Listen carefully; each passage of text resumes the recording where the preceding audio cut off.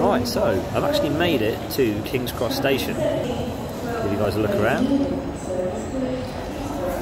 So I'm currently sat on the floor at King's Cross Station. I've arrived here quite early, which is nice.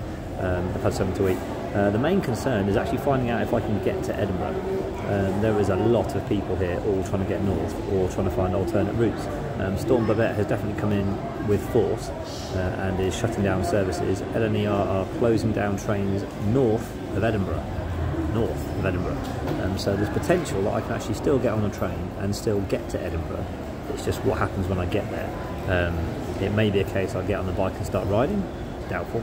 It may be a case I find somewhere to sort of hunker down and get out of the way. Uh, it may be a case I find a cheap hotel. Who knows? Um, but my plan is to actually get there at least, and then figure out and work out my problems when I'm there.